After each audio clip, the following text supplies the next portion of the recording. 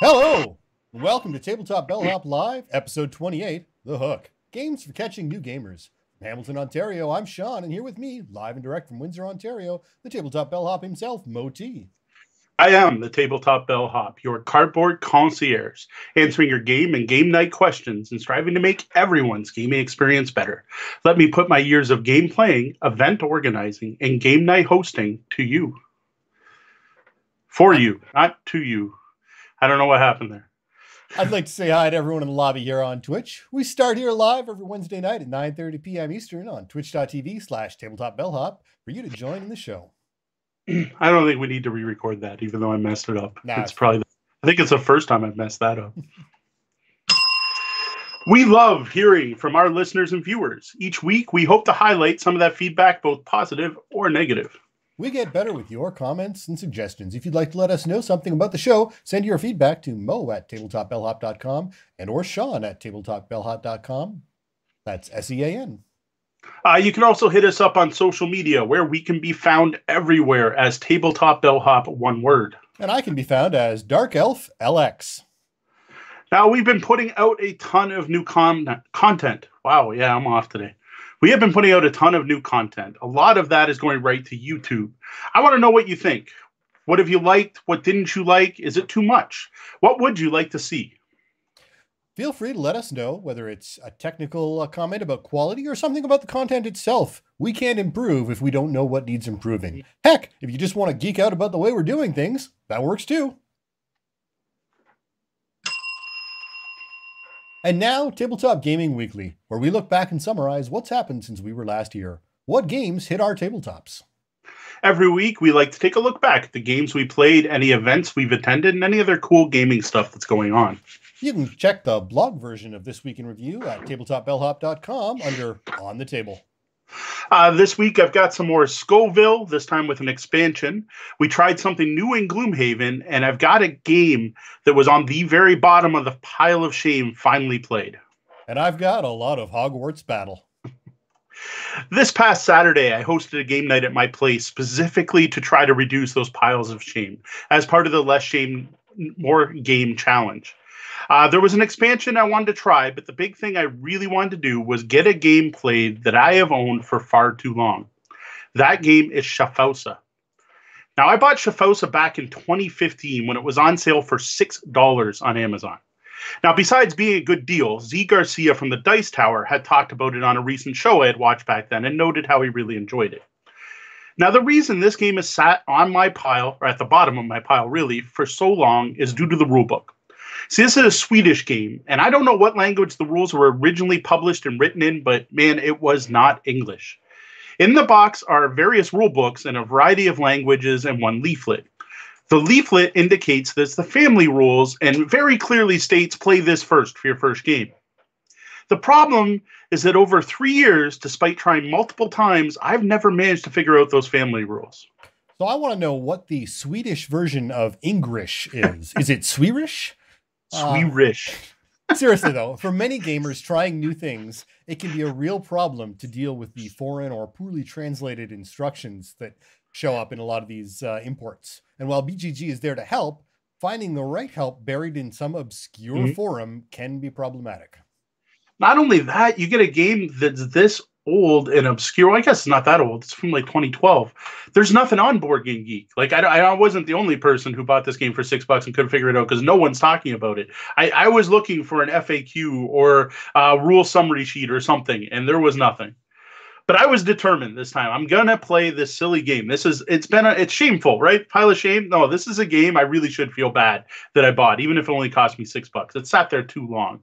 I'm like, I got to get it done. So I gave it another go. So, like I said, I Googled it and I found nothing, which is just weird because there's nothing. There's no how to play videos. There's no updated rule book. There's not even an FAQ out there. There are a couple board game geek threads on some very specific rule questions, but that's about it. So I'm like, all right, fine. I'm going to figure this out. I'm going to set the game up in front of me I'm going to take out the family rules. I'm going to figure it out. So I sat there and no, the, the family rules just don't make sense. It's like, do this. And you're like, what is it talking about? It, it, I'm like, all right, we're going to play this game. So in the book are these thicker rule books called the Geek Rules, and I expect this to be like the the heavy version, the, the hard version of the game. So I sat through and read the Greek ver- geek version, not Greek, but it, the first book was more like Greek than this one. I sat down and read through the geek version of the rules, and you know what? It basically kind of mostly made sense. It definitely helped me understand the family rules. Now, the family rules as written are incomplete and missing a lot of the core concept of the games, which are fully explained in the geek rules, like what mines do for you and why you want to build buildings. I actually figured why not just give up on the family rules completely and jump right to the geek rules. And if I had done that three years ago, uh, we would have played this game.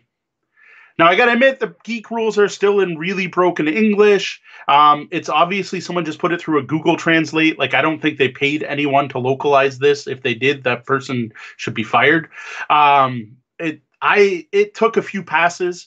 Uh, even when we were playing, we were handing around the rulebook, going, "Here, read this. Do you think this means what I think it means?" And coming up with an agreement on it.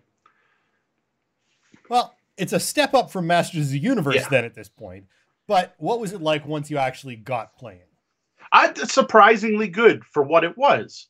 Now that's what it is. Like it's this is the thing about Shafausa. You look at this box and you see these fantasy races, obviously in a tavern, looking over a world map. If I remember, there's like a dagger stuck into the tavern, the, the table you open it up and the first thing on top is a big fold out rpg style map you look at the player boards with all these different types of terrain and stops to spots to build stuff and you would 100% think this is a fantasy 4x style game where trolls and elves are going to be battling for land what you don't expect is a game about trolls and elves talking currency and doing stock market speculation that's right Shafausa is a pure ac- economic game with a fantasy veneer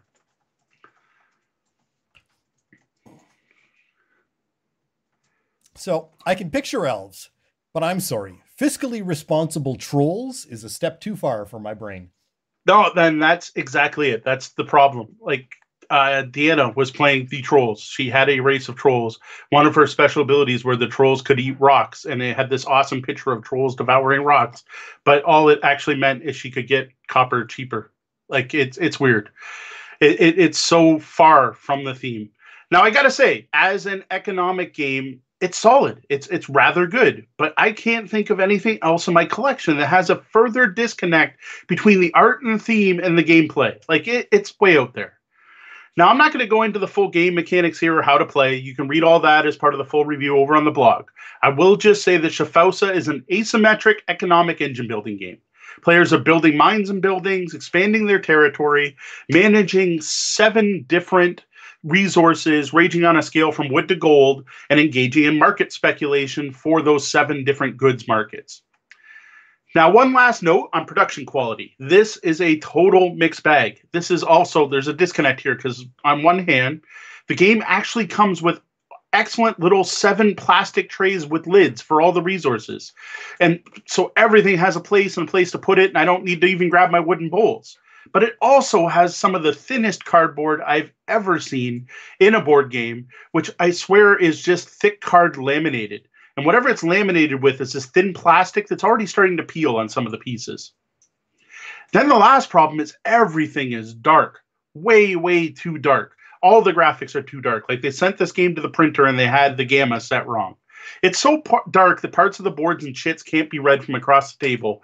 And through the game, NC Games had to keep asking us what the price of wood was every turn. Now, I gotta say, if you dig a game where you're gonna increase the price of ore by exactly $2 so that next turn you can sell your three spare ore to give you exactly $20 that you need to build that coal furnace so that next turn you can build your first copper mine, if that sounds like fun to you, you'll probably dig Shafausa. Now, if you want trolls backing orcs while the humans are trying to develop catapults to capture the lands of the elves, you're to have to find a different game. It's interesting, but it sounds like it really only pe- appeals to a pretty narrow band of gamers. Uh, Lord of the Rings style enthusiasts who want more economic reality in their fantasy gaming. Yeah, I think in general though, like I, I don't even know if this would appeal to Lord of the Rings fans. Like, just toss out the theme, like throw it out. Assume this game has no theme. Just think of it as an economic engine builder with seven resources and a market for each resource. Like, I get flashbacks to going to Origins and going to the Mayfair booth and playing this game called King Chocolate. Now, this is supposedly a game about making chocolate bars. A unique theme. I'd never seen a chocolate bar making game before. So when we sat down at Origins, this guy from Mayfair sits down to do the game demo and he starts telling us about how we're building toilets. And the first step to build a toilet is to get the ceramic, and the next step is you have to attach the plunger. And we're like, "Whoa, what, what, what are you doing? Why are you talking about toilets? Isn't this a game about building chocolates?" And he used that to point out just how abstract this game is, how it could be anything that takes six steps to build which he decided to pick a toilet because obviously that's going to get people to buy your game. But anyway, that's that's what Shafausa feels like. Except it's the same deal, but instead you're dealing with seven markets instead of six steps. It, it, could be anything. It could be Splendor, where you're acquiring, setting up trading posts and trading seven different types of gems. Like the the theme is at worst misleading and be, at best easy to ignore. But the game is solid. Well, that's uh, at least it's off the pile of shame now. That's true. Now, for me this week, with uh, a few extra school days off for weather and uh, PD day thrown in there, we got in a bunch of Hogwarts Battle with the Family. And I'm very happy to say, for those who have been following along, we finally made it through Book 5. It was still a bit of a slog, but it was a definitive win and no extreme playing. Nice. Very nice. Yeah. It's amazing how much easier games are when you don't play by the extreme rules. Uh, something I know very well and got reminded of this past week, but we'll get to that later. Now, it was actually the first game of the week that got through book five. Uh, interestingly, after book five, we found book and six and seven almost too easy. Uh, we beat them both first try. They weren't effortless, but as the game evolved, there was a specific adjustment, uh, much like the specific adjustment that made game five uh, as difficult as it was. Um, that same adjustment got changed again, and okay. I find that made it a little bit easier again. So it's it's an it was an odd choice uh, to make you know to do what they did. Um, now once we beat book seven though, we still weren't done as we had picked up the monster box of monsters along with the game. And that gives you four more boxes or games or, or decks to unpack as you go along uh, that bring in new mechanics and even a new player character, uh, as well as the initial Hermione, Ron, Neville, and Harry. The Monster Box of Monsters gives you Luna to play with. Uh, and the only the only real change you need to do is you need to take the Luna character out of the Hogwarts deck. So, uh, hardly uh, har- hardly difficult. And uh, what I'm not sure about is whether or not you can play you can switch into a five player uh, mode. I haven't actually looked into that, but oh. Uh, if you can, that would uh, be really interesting and might actually make things easier because what we weren't expecting was the difficulty. Uh, we got, we've gone through it three times now and have been absolutely slammed. Um, we haven't beaten more than a couple of villains, uh, and there's actually seven, eight opponents to get through, mm. and uh, and two is our best. Wow. Yeah. It's interesting that the uh, first game spikes partway through in difficulty. Yeah. I've seen enough people complain that book five's hard, but I, I, like you, I hadn't heard much about six and seven. Yeah. So I do have a question though. Now that you beat the original box, is there any reason to go back and play that? Is there enough stuff there to keep you and potentially more importantly the kids interested, or is it kind of now you're done with the box and it's time to move on to the expansion? No, I think we would probably still play because there's enough ways to mix it up between. Um, we're only playing three, the three of us, so we've mm-hmm. got the ability to rotate player characters around and, and play with different characters. Uh, there's skill sets that you can change up, uh, and once you get once you're once you're done the game and you go into that full game mode, uh, there's actually rules for randomizing the villain. Uh, okay. Ro- uh, rollout. Um, and so I would ab- I would absolutely play it again. I don't know how long it would stay uh, stay fresh but it's definitely got uh, some some more table time to it before uh, we're sick of it. Oh, that's cool. It's good to hear. So the other thing I got off my pile of shame Saturday was the Scoville Labs expansion for Scoville. Now I've been itching to get to this one to the table after playing Scoville at the birthday bash. Plus, I just wanted to play more Scoville because, as I mentioned when talking about that, it was way more fun than I remembered, and I remembered it as being pretty good. Now, the labs to me is an expansion in two parts. The first part is just more of what you loved more market cards, more chili recipes, and more peppers. Lots, lots more peppers. One of the complaints about the original game is that Tasty Minstrel Games didn't include enough peppers in the game.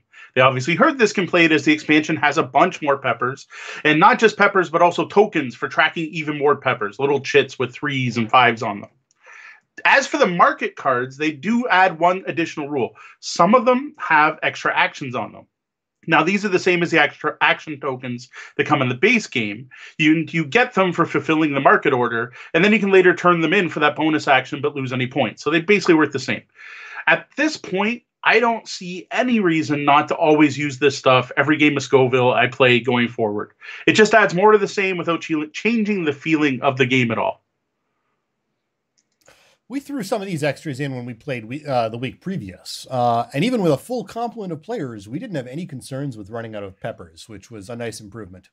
Yeah, way back in the day, I remember having to take out some of the auction cards and give them to people so they could track their peppers. It's good to see that's uh, gone from the game. Now, the big thing Scoville Labs adds is the lab part, the, the lab. Each player now gets their own little personal pepper planting lab. It's a little three by three grid with spots for nine peppers. And each planting phase, in addition to planting on the main field, you can plant one pepper in your lab. And when you plant the pepper in the lab, it crossbreeds with any adjacent peppers. The other thing the lab does, which besides just giving you better opportunity to grow peppers you need, is when you sell peppers. Now the money you get for selling is based on the peppers in your lab as well as on the board, which has a neat additional effect of making it so the market value of peppers can now be different for each player. Well, still not a heavy game. The additional economic effect uh, of the lab is nice and an unexpected yeah. touch. I, I, assumed that it was just going to cost you something in some way in order to breed peppers locally, um, and more breed, breed something more easily that you you wouldn't be able to get otherwise. Um, yeah. Uh, so to to see that it has additional effects beyond that is is uh, nice and interesting. Yeah, I thought it was really cool. Uh, the other one I found is with three players, it felt way heavier. There was way more AP. I think with three players, it's a lot easier to see what the other players are doing. So you're more aware of, ooh, he's collecting black peppers. He's probably going for this recipe. Whereas I found with six players, it was just too much to track, so I didn't track any of it. There was also so that, the problem. There was also the problem that the the pepper map spread out so much that you just couldn't get some places. Yes, there was just no way to get if you if you made a choice to go right at the beginning, and someone else went left and started building in that way, you weren't going to get there.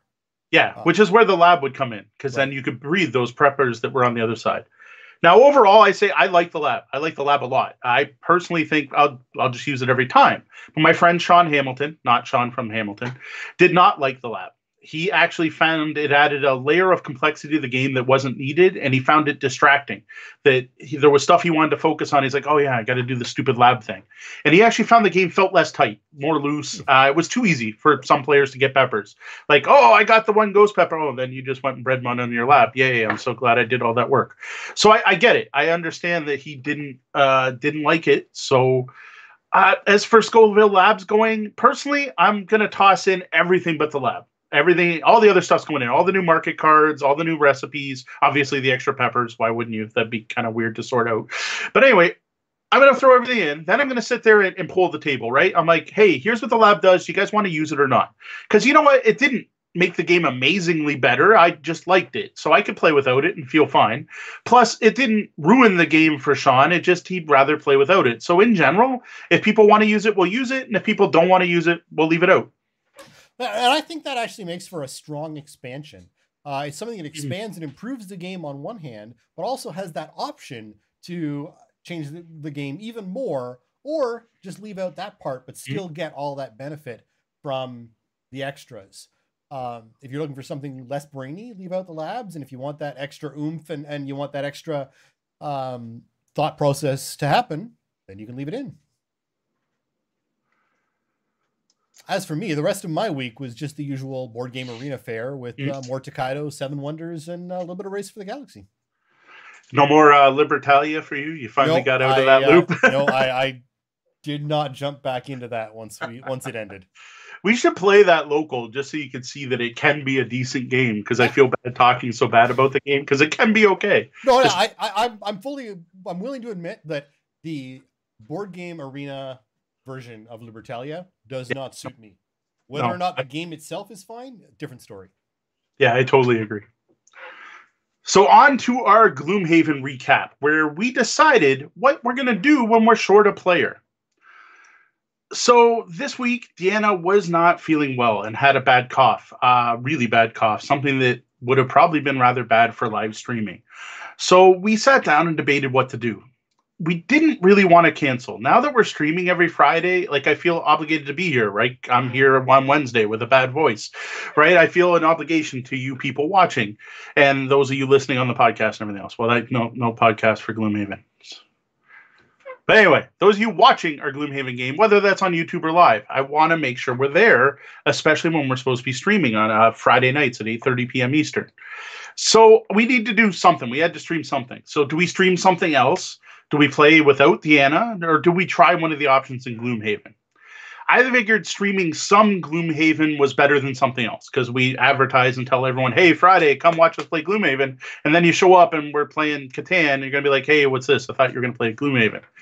So I dug out the core rule book for Gloomhaven because I knew there were some other options besides playing campaign games, which is pretty cool. Is there are actually more than I expected. Like rereading through the book, I'm like, I basically had three other options.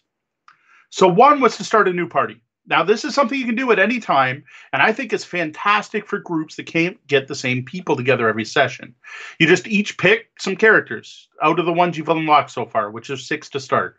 You grab a new party sheet, you find one of the spots on the map, and you go and you do that adventure. Now, some scenarios do require that your party has hit certain achievements, which is for storyline reasons, right? You can't go finish our mission, you can't do the Fallout thing. Um, but there aren't, most missions didn't seem to have a lot of restrictions.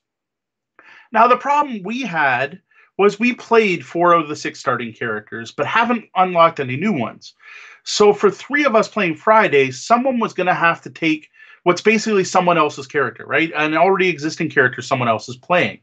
Now you can do this, like it works in the rules, but it's kind of a pain. Each character has this box where you tuck all your stuff in, and each of us playing has our own box, and we have it set up kind of how we want, right? So we have the cards sorted, so we know which of our char- what our characters have and don't. Our combat decks have been adjusted for our perks. We have all our items in the box. So if we were to swap up who's using the character components, we'd have to reset that every game. So yes, there's a character sheet for tracking this stuff, but literally you just have to write down everything and then go find the cards every time. Like if we had had three new character classes we could have tried, we might have gone with this option, but the whole swapping characters back and forth between sessions just we decided to pass on this. Yeah, it's interesting that they chose on a on a one to four player game to have six starter characters. Like I understand you can unlock more, Yeah. but it, it's a game that's specifically designed to have the ability to have multiple groups and things, but you can't have two full groups until you've played for a certain period of time. Although you can have two full groups at the recommended player count of three. That's true, I suppose. It's yet again reinforcing that if you play Gloomhaven, it really seems like the, the designer wanted you to play with a group of three players. Yeah. That that just seems to reinforce that. So our next option is to keep playing, just continue the game without Deanna's character.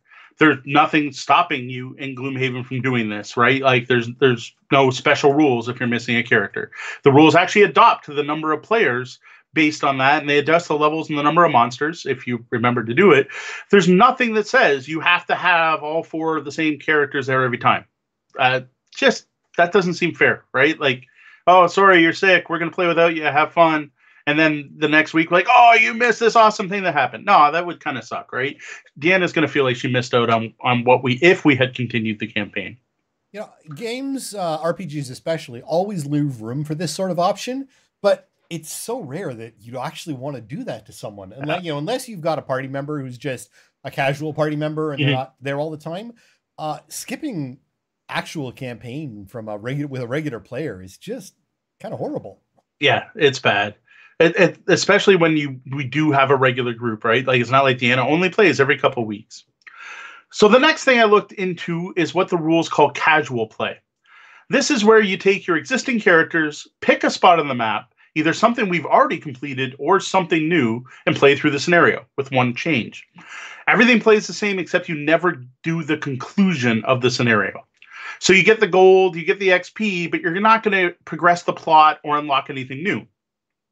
Now, this does seem like an interesting way to play the game. It seems like a great way to replay a mission. If there was a mission you guys or anyone really enjoyed, it's a way to do it. But I got to say, similar to the last one, trying something new seems like it's just going to be a spoiler. Like we're going to go somewhere new, we're going to see what's there, but then we're going to return there as the campaign. Besides Deanna missing out on it for the first time, when we do go as the campaign, it's going to feel like cheating, right? So we discussed this option. Uh, we specifically talked about going back to the Windswept Highlands. That was the one adventure we had a real hard time on the first time to give it another go. But we decided against this version to play as well. Yeah, much like advancing without a character, the missing out feeling is still there. Yeah, like it's so this leads us to the final option. Sorry, I guess we're four. It's a three earlier. Uh, there are rules at the very back of Gloomhaven. It's one of the last things in the rule book for how to generate a random dungeon. In this method, you take two decks of cards and you use those to generate a three-room dungeon, complete with monsters, hazards, obstacles, traps, and treasure. The goal is to defeat all the monsters you find. Your characters get to keep any treasure they find, and they get standard scenario XP based on your party difficulty. I got to say, this seemed like the perfect option for us. We get to play, we get to stream, we get to check out some new rules for the game and experience Gloomhaven in an all new way. We don't end up spoiling anything, not only for the people watching the stream, but Deanna doesn't miss out on anything herself. So, this is what we went with. Now, the rules for random dungeons are pretty simple.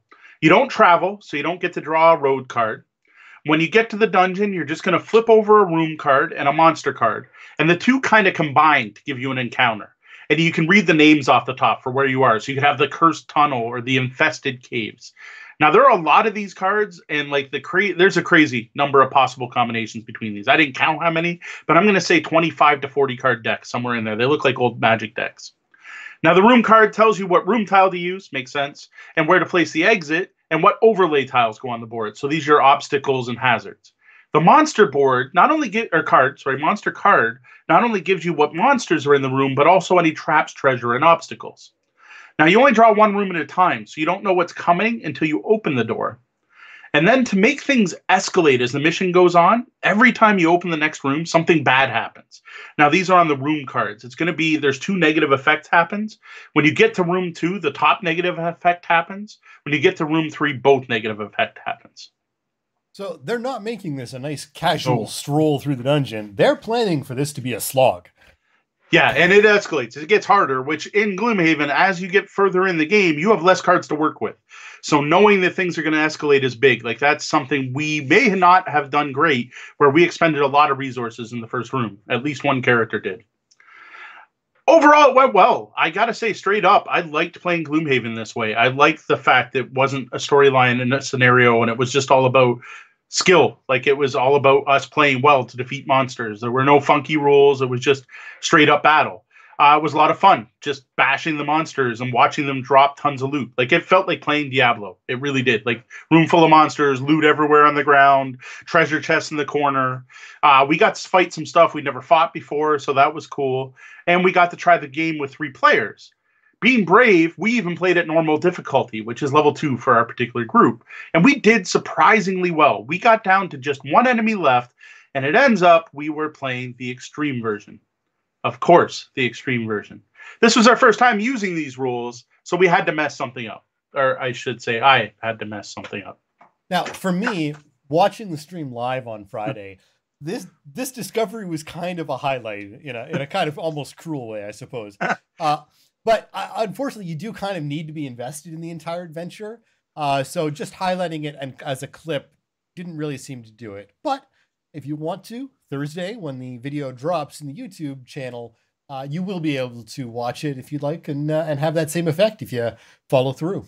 Yeah, yeah. Watch me screw up. Watch me uh, go through the entire adventure being so used to playing with four players that every time I spawned monsters, I spawned it for a full group of four. Uh, this meant we faced way more op- opposition than we should have. Uh, Tori's the one that noticed this, probably because he was exhausted and knocked out early in the match. Uh, so he had time to kill and we he noticed it when we spawned room three. He's like, wait a minute, what are those colors on the card mean? So we played wrong and made it way, way harder on ourselves. But I gotta say, the fact we came so darn close to winning is a real accomplishment. Like I, I felt like we accomplished something. To, to the fact that we heavily debated giving ourselves the full XP but we decided not to. We're like, I, I think it's because we were on stream as part of it. I'm like, I feel accountable. People are watching. We can't cheat, even though I still think we earned it.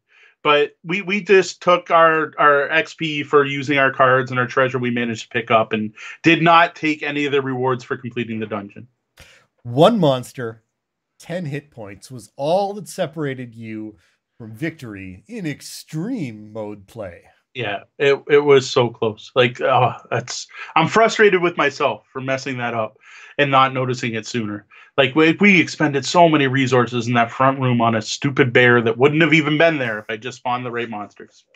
But overall, Gloomhaven random dungeons, great way to play. Like seriously, if I this now makes me more willing to bring the game out to the game store. Like I have friends like Sean Hamilton who d- isn't part of our group who wants to try it. I now see a very valid way to show off Gloomhaven without spoiling anything for anyone. Except for maybe the fact that he'll see some character cards ahead of time, but when you open the pack, you get to look through all the cards. So this is going to be your go-to even when you unlock more characters. I think so. Like I, am tempted with the more characters. If I unlock more characters, I think it might be when I actually start a second group of Gloomhaven, or we might make a second party with three characters just in case someone's short. But I really like this random dungeon. I think part of it is the fact we failed with only ten hit points left. I'm like, oh, I want to try again. Of course, it'll be different cards. I don't want to try the exact same dungeon. Right. But I think this will be the plan. Like if I'm not available Friday, I'm pretty sure Kat, Tori, and Deanna could very easily go through a random dungeon on their own. Or if Kat's not available, the nice part about that is is good is is we can do it. Now if we did unlock more characters that's that's where the problem has right? So besides the fear of missing out what do you do when it's me missing this week and then next week it's deanna missing then next week it's tori missing? What are we going to make nine different parties with every possible group of three different player classes? Right. uh, what if next week it's just tori and i? Do we make another party? So i don't think so. I think i think we're going to stick to random dungeons. Right Solo, time for the less shame, more game pile of shame update. It took an entire night dedicated to it, but I was able to get two games off the pile. The oldest game that has been in my pile of shame for the longest, Shafausa, and the Scoville Labs expansion. The Done. Pile of shame. All right, so we're down to 74 on the pile of shame now getting there. Tomorrow on Thursday, for those of you watching live, tomorrow live, I will be updating a blog post which will give an overall update where we stand. I realize it keeps going down on the show, but we're not accounting for any new games I've gotten here. So there may be a bump up. That'll be in next week's podcast. We'll discuss where we stand. On the blog, I will be doing a short review of each of the games that are new to my table in January. So look forward to that tomorrow. We record the show live Wednesday nights at 9:30 p.m. Eastern on Twitch, and we encourage people to drop in and take part in our chat room, the lobby. Don't forget, if you're here live, we continue the show after the double bell in an off the books after show, as well as some special features that sometimes that make it on, up onto YouTube. Well, thanks to our moderator Angie Games. Tonight in the chat we have Matt M on Gaming. There's a new cool. name I haven't seen before. Shadzar, uh, Tech 2674. Uh, we've got uh, Twiniac CZ. Nice. Virgo Pro Z. Uh, Piolizai, which may or may not be a bot. That one I'm not sure about. And Brian is here joining us again this week. Thank awesome. you very much, Brian. And I did see uh um uh, who else was in here earlier? We had we did have Teldern stop in. I don't know if he's still. Oh, that's uh, cool. He's probably still viewing and just dropped off the chat list. Oh, thanks everyone for stopping in. Yeah, Brian, you missed it. I talked all about it. So when you listen to the podcast episode, you get to hear all about Shafausa, the game that does not it, it sells itself. It's a bait and switch. It looks like you're buying a 4X fantasy empire elves versus dwarves battle game. Instead, you're going to be worrying about the market price of ore and copper. Yep. So as usual in the chat, if you have anything questions or anything you wish to comment, we will be checking back in multiple times during the show to see how things are going and to answer your questions. Oh, and Poncho Poncho 72 is 72. here. Cool. I it's hilarious. What I've got two different chat lists open. Nah, They both knows? show me different names, and Poncho 72 isn't even one of them. But thank you for being here for us. there you go. I, I have a huge list. I've got like 15 people showing for some reason today. Yeah. I don't know. I I, I don't try to figure it out. Yep. Yeah, Shafausa is a good game. I noticed Anshi Games noted it. She is more than happy to play it again. I, I do want to give it another show, try. We did try it with Sean Hamilton. Sean Hamilton thought it was okay. It, it's it was okay. It wasn't great. I personally, it was one of those games where you know I went to bed at night and I was thinking about. it. I'm like, oh, I could have done this or I should have done that. I, it's solid. It's just not at all what you expect it to be. And just take those family rules and rip them up because wow, like three years of sitting on my pile because I thought I'd never figure the game out, and all it took was, excuse me, reading the advanced rules before the basic rules. Right. Uh, you get the notes back up. Give me a second. Here we go. We are growing through the support of fans like you. So if you haven't yet, please take a minute to subscribe, like, rate, rev- rate, review, click on the bell, thumbs up, or share to your friends. Wherever and however you find us, you can help us grow. That's interesting to know. Poncho just noted that he's watching through Xbox. Maybe they don't show up on the list because they're not not on my list either. Welcome either way. Xbox, PlayStation. We, we'll take all viewers from everywhere. Absolutely. Sign And, yeah, up. He does. He does show up in my chatty list now. For I guess he just had to. Talk maybe there's some lag or something. It could just be he had to talk. So Cool enough.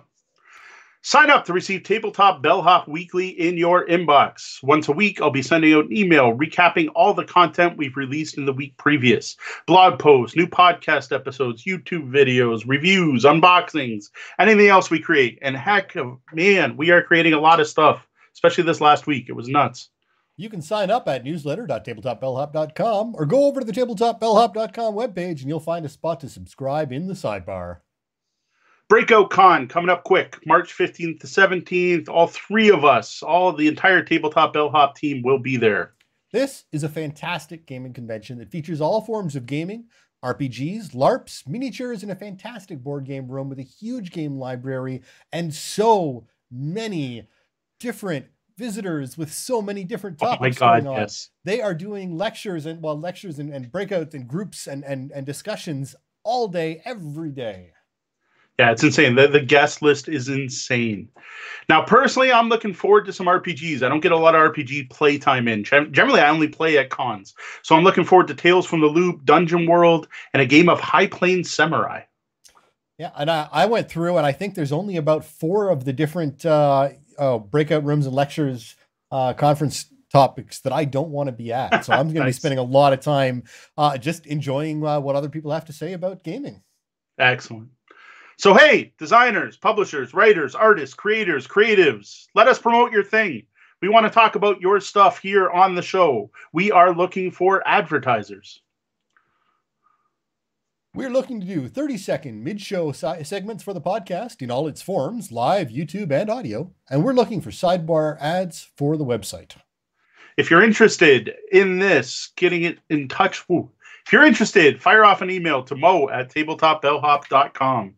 I don't know what happened there. That would, Uh, Back in our New Year's episode, I talked about a few different gaming resolutions. One, of course, was the Less Shame More Game Challenge, where I want trying to play all of my unplayed games. So far, progress on that is going pretty well. Now, another challenge I've taken up is something called RPG a month.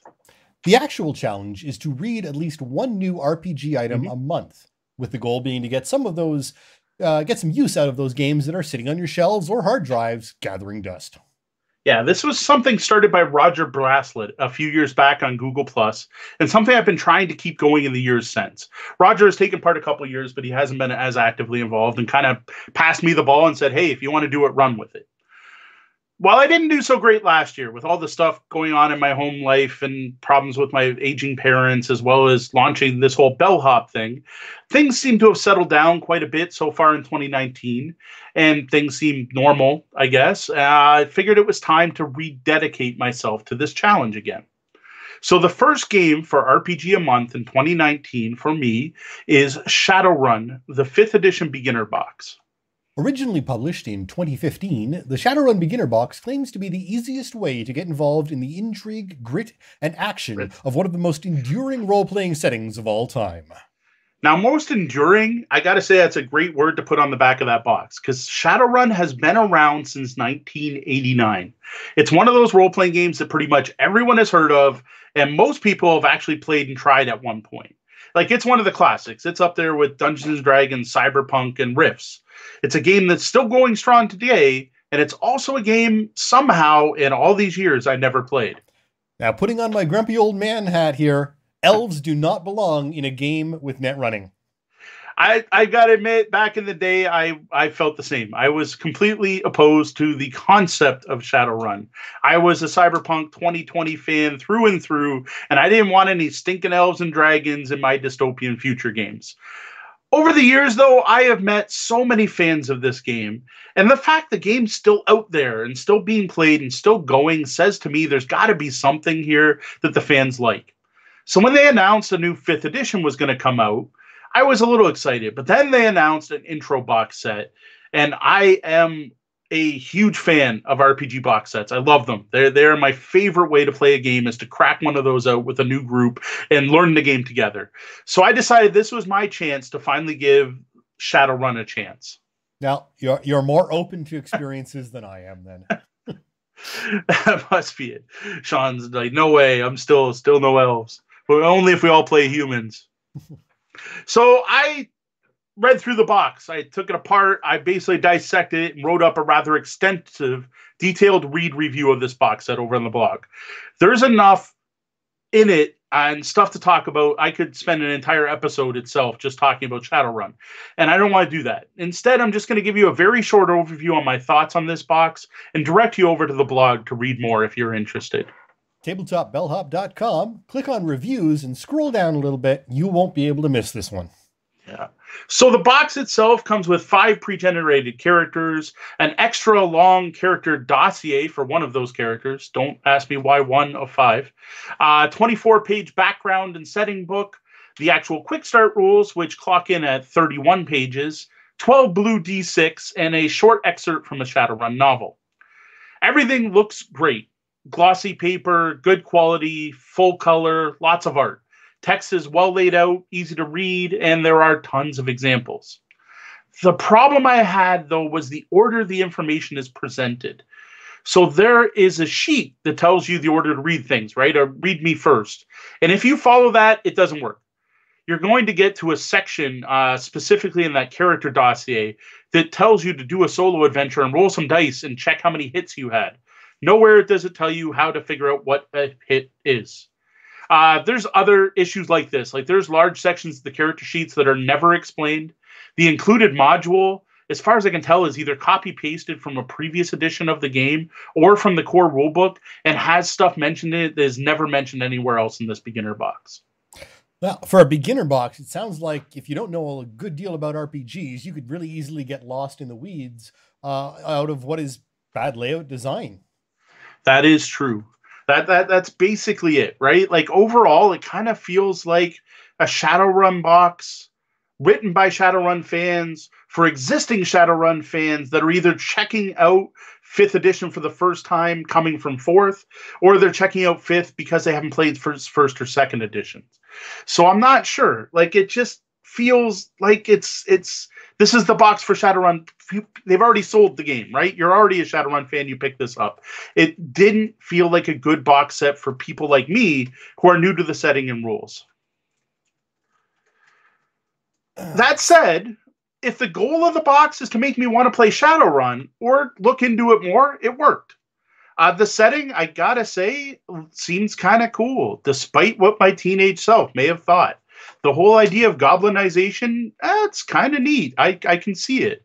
The rules I, surprised me. They are way simpler than what I expected. Now, from what I understand, talking to fans on Twitter, they've significantly changed the rules for fifth edition. Like it used to be a lot more complicated, and like the game has a reputation for having a lot of crunch, and I didn't find the rules in there were a lot of crunch. So basic system is add your stat to your skill, like you do in almost every RPG. Roll that many d6s and counts your fives and sixes. That's it. Fives and sixes are hits. If you get as many hits as the threshold set by the DM, which is usually only two, you succeed.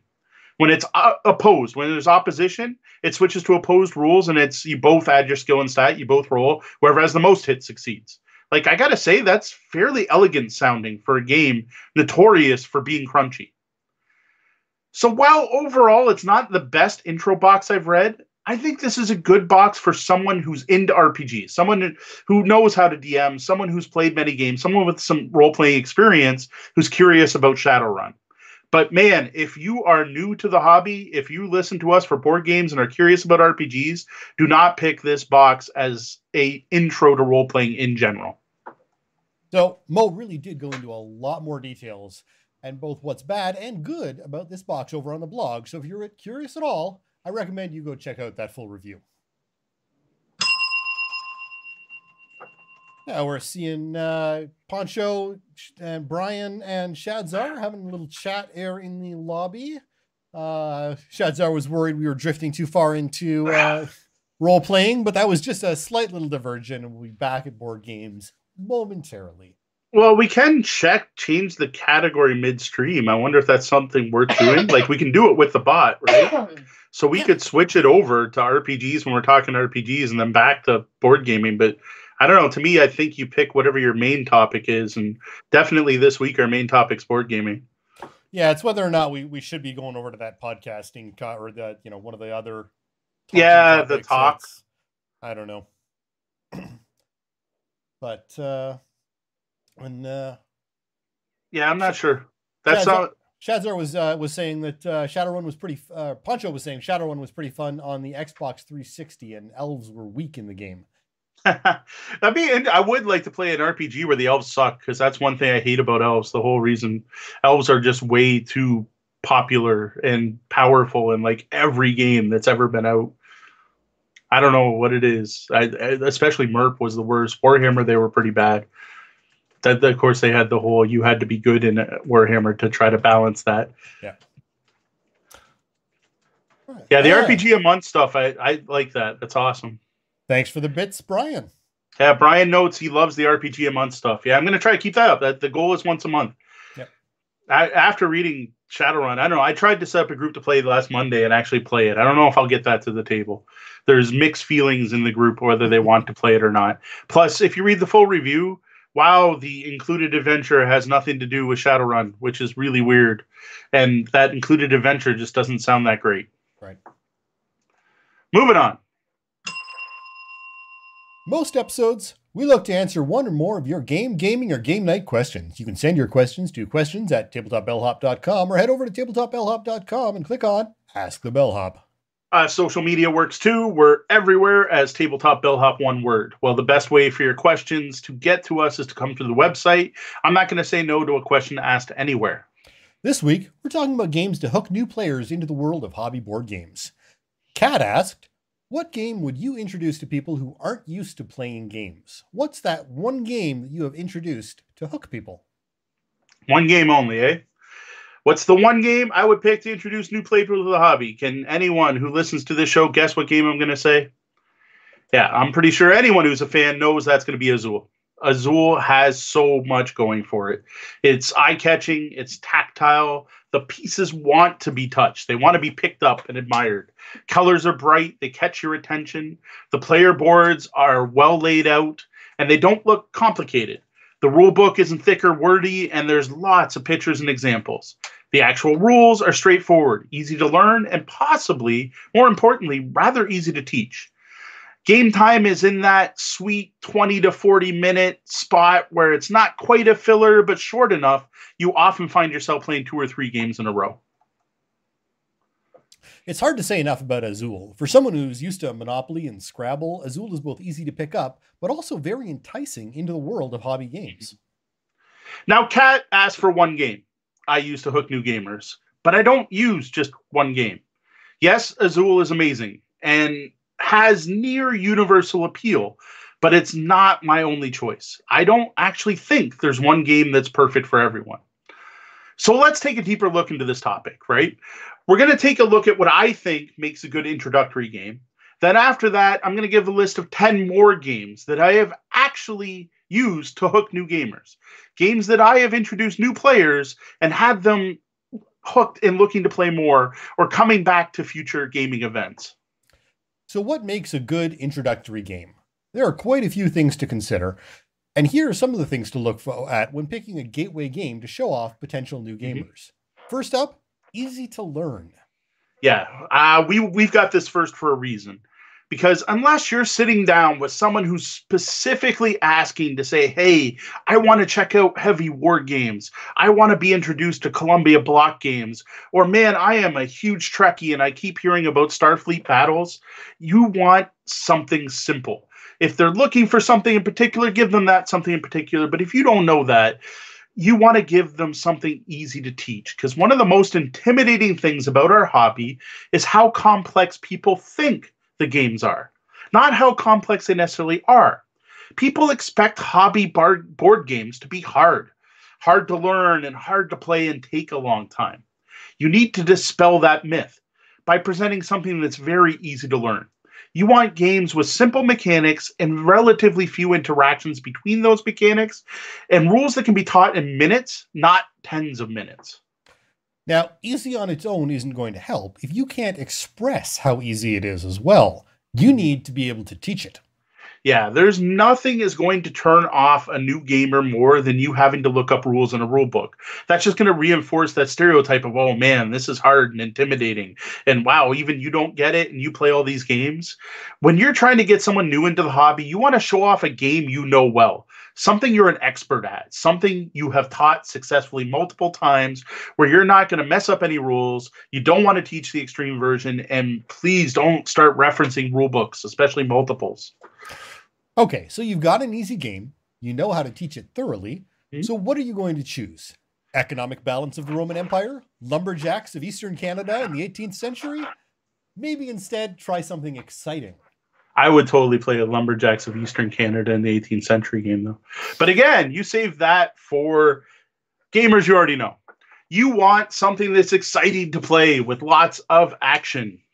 You want something that's going to catch people's attention uh, both the people playing and potentially people not playing. You want a game where all the players are engaged for the full game. Now, there's going to be plenty of time to introduce your new gamer friend to the world of Feld later. Right now, try to pick something that's going to grab them right away. Not only the game play, but the game physically. Eye candy really does make a difference to people new to the hobby. Uh, but do they care about it? If they love fantasy games, are you going to accidentally give them a Robo Rally? Yeah, or Shafausa, though it kind of looks like fantasy. But yeah, theme can be everything. Uh, Sean's mentioned it now, but multiple times on the show, how important theme can be. Uh, if you find something that this new gamer is interested in, whether that be a brand, a particular story, set of novels, a franchise, part of your work is done if someone is obsessed with the wizarding world of Harry Potter, starting off with Harry Potter's Hogwarts battle is going to have a way better chance of hooking their interest than pulling out a dry abstract like Azul. Now, next up, is it a really a real game you're teaching them? If you're introducing someone to the wonders of cooking, you don't want to serve them fast food. Yeah, this is one that you don't where I don't necessarily agree with most of the other gateway gaming posts out there on the web and suggestions. I personally suggest avoiding filler games. You want the game you're playing to have an impact.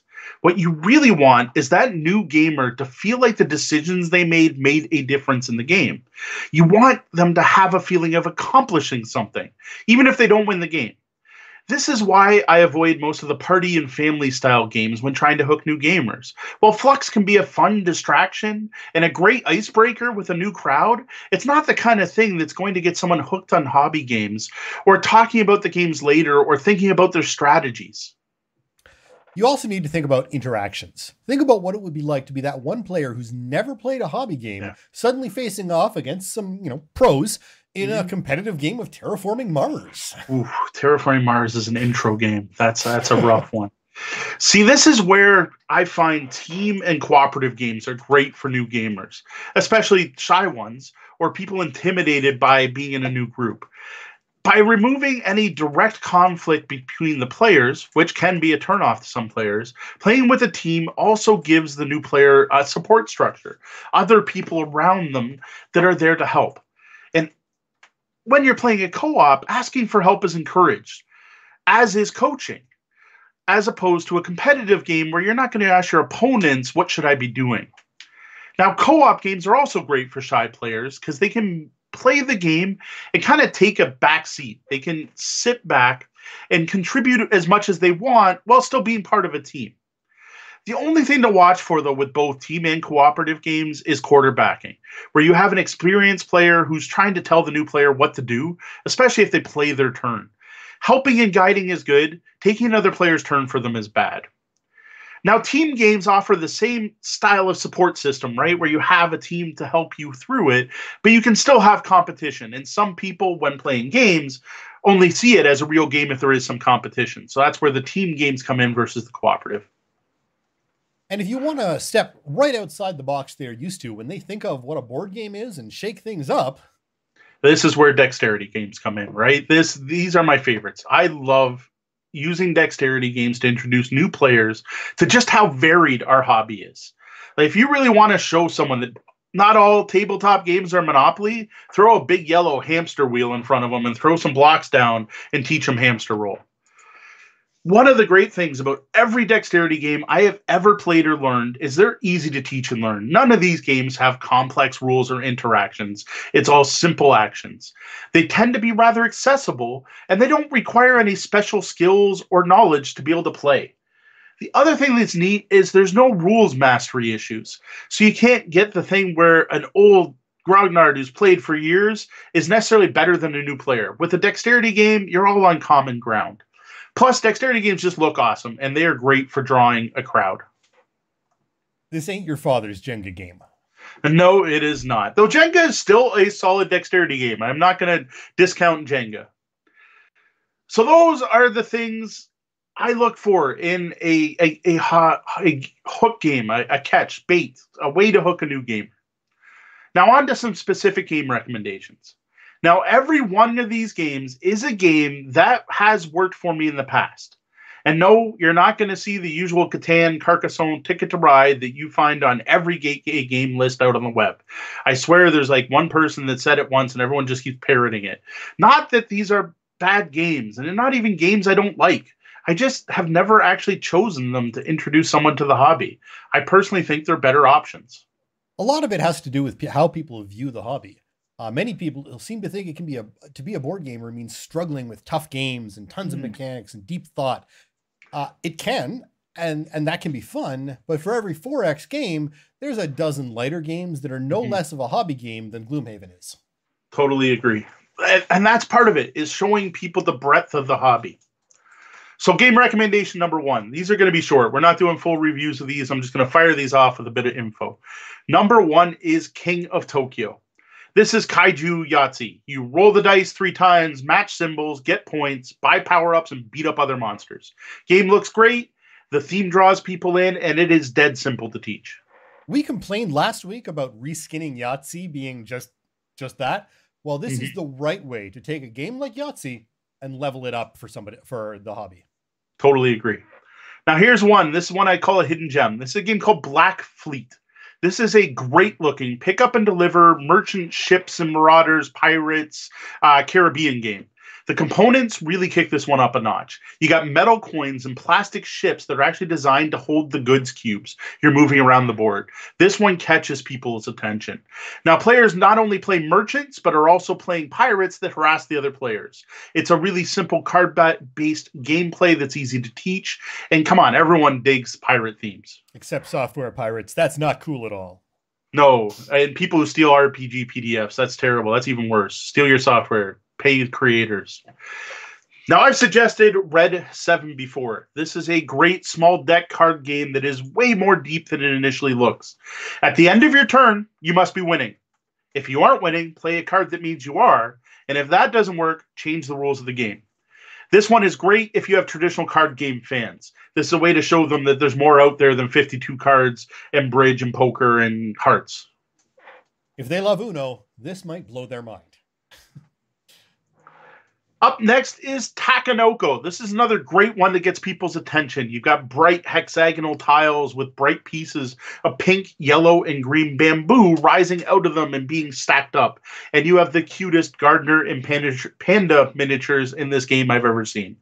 Now, the game itself is a pretty simple action selection game where you're basically working on set collection that I find really appeals to kids there's enough here for adults by far. Like this is definitely not a kids game, though kids could enjoy it. And it was actually my daughter who bought me this game, and we've been playing it now on and off since she was eight years old. When the kids are picking it out, that really says something about accessibility, uh, but also about the wow factor on the table, because that's a lot of what mm-hmm. attracts you know the kids to the game. Is that is that eye catching uh, factor, and that's what you want for new players. Up next, I've got Kingdomino. This is probably the most modern game on my list. This one's pretty new. Just I think I just got it last year. This is a great gateway as everyone gets dominoes. Everyone at a young age is taught matching tiles. You draft tiles and play them in your personal play area, having to match at least one of the two sides. Tiles make up your kingdom, which is filled with fields, lakes, forests, etc. You're going to score points by having sets of similar terrain grouped together.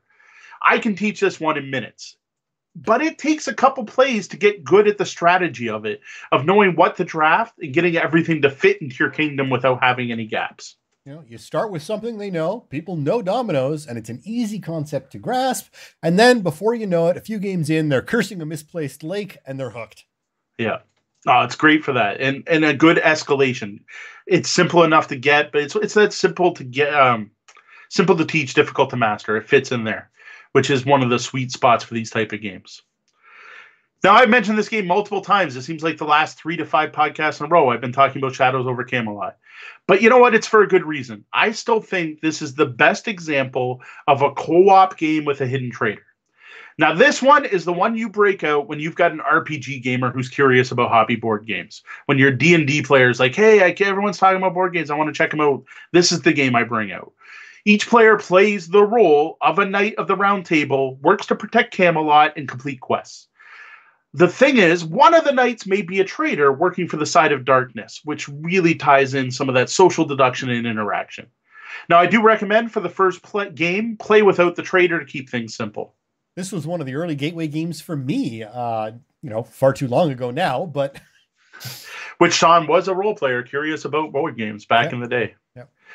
Now, my second big co op recommendation isn't what most people would think. It is not Pandemic, which you will find on pretty much every other list. Well, I think Pandemic's good, it just doesn't have the impoint, impact that Flashpoint Fire Rescue does. In Flashpoint, you're playing firefighters. In this one, you're hoping to get players emotionally invested. You want to hook them by having them care about what's happening in the game. And I find people care way more about saving grandma from a burning bedroom than they care that there are three blue cubes in Essen this turn. Now, I would be interested to hear from if anyone has ever run into players who have a problem with Flashpoint. Uh, it's a great game, as we've discussed before, but is it inappropriate for someone who suffered a loss to fire? Yeah, I could yeah. see it. If if uh, we'd love to hear if, if anyone out there has an experience. Uh, it's you know it's just one of those things that you don't always necessarily think about, but uh, trigger warnings in board games could be a, uh, an issue. Yeah, I could definitely see it. I've yet to see that come up. I have seen people turned off from the theme. They're just like, yeah, firefighters. But I don't think it was anything about no right. trauma involved. Just the theme didn't catch them. Right. So, of course, I talked about how I love dexterity games, so I have a couple of them. Uh, the one I've already mentioned already, but I'm going to talk a bit more about it. The it, it, it has hooked more people on games for me than any other game in my collection. That's Hamster Roll. There's something about that big yellow wheel that catches people's interest. Now, one of the best parts about this game is that it requires actual strategy and that it's more important than the physical dexterity in the game. Like these pieces are not hard to manipulate or hold. When placing pieces, it's the choice of what place to it, what piece is going to go where that matters more than steady hands. Uh, now, even I can teach this to this one to someone in a couple of minutes, and then quickly watch their shock as it, uh, as it's easy but not simple. And then the cursing comes shortly thereafter as the wheel doesn't roll how they expect, and uh, everything goes horribly wrong. Now, my other big dexterity game is Pitch Car. Now, this is unique on this list just because it has worked for me to hook gamers when I wasn't even trying. We set this up at a local coffee shop and other times at a local bar and i've had complete strangers come over and go what are you guys doing? and then ask to play if they can play in the next round. Like i have gotten multiple people off the street basically to play pitch car with me. Now this is a flicking based race game where you make a track and players flick wooden crokinole style discs around the track. I love this game but fair warning it, it is not a cheap game Though, to be fair, getting anyone hooked on games is somewhat cruel to the wallet no matter what. Although, if you follow at tabletop underscore deals on Twitter, it can get a little bit easier. Yeah, though deals on pitch car, few or far between. They were there at uh, Boxing Day. I managed to pick up the last two expansions I didn't have.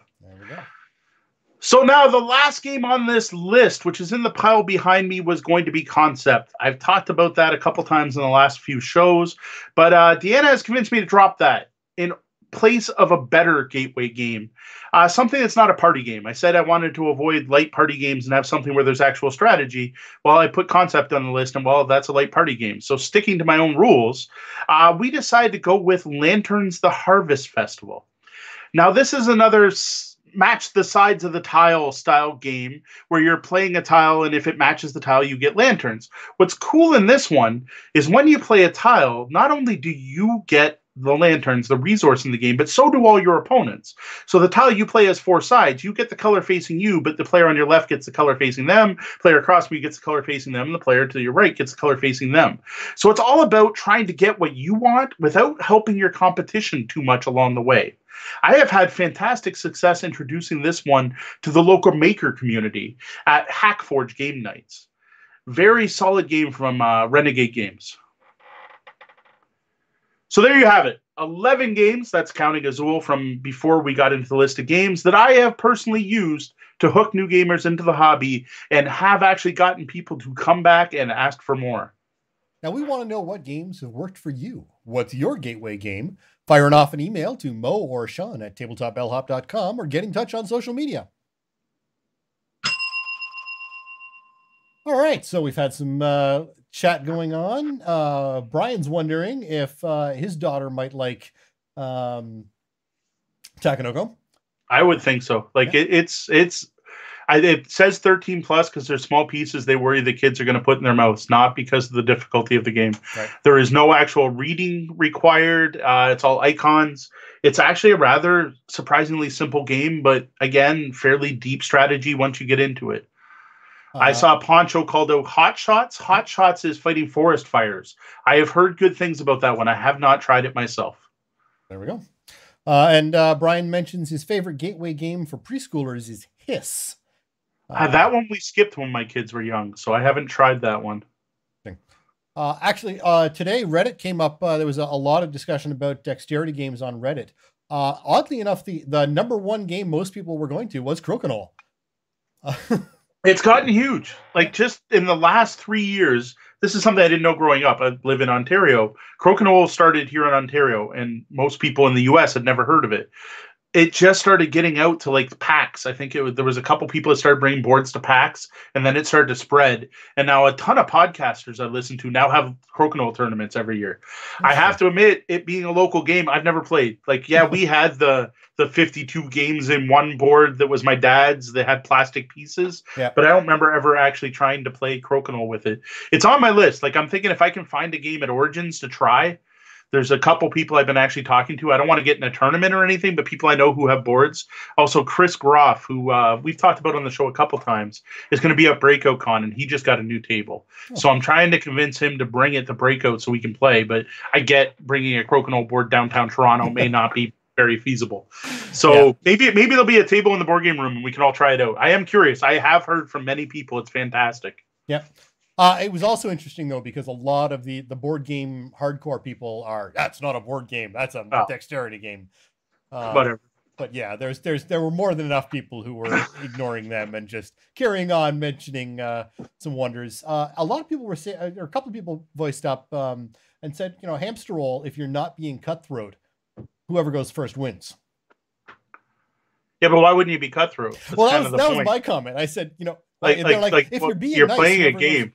Yeah, like, their their comment was uh, uh, if you're playing nice, whoever goes first wins. And I said, nice. What? Yeah, like what? what you're you're playing a game. Like The, the Brian Kurtz has a question we're going to get to eventually about competition. That fits in well with that one because Yeah. if, if I'm playing a board game, I play to win. Like I, I don't care who wins, but I am playing a game to win. I am going to try my hardest to win that game when I play. So Yeah. that, that to me the the concept of if you're it's it's like when we play Carcassonne with my mom and she finishes other people's cities. Like just don't play Carcassonne with my mom.